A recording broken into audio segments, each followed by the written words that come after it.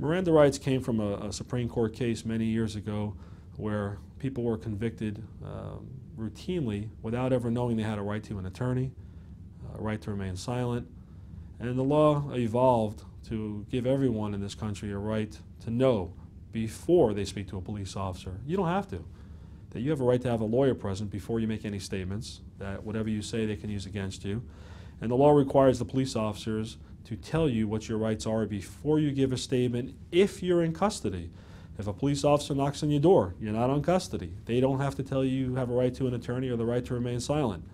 But if you're taking into custody and you're in a police car or a police station, then the Miranda rights kick in and the police must inform you you have a right to an attorney, a right to remain silent, not right, a right not to incriminate yourself. So it's real important. The distinction is whether you're in custody or whether you're not in custody. But to protect yourself, you should really never talk to the police without talking to an attorney first.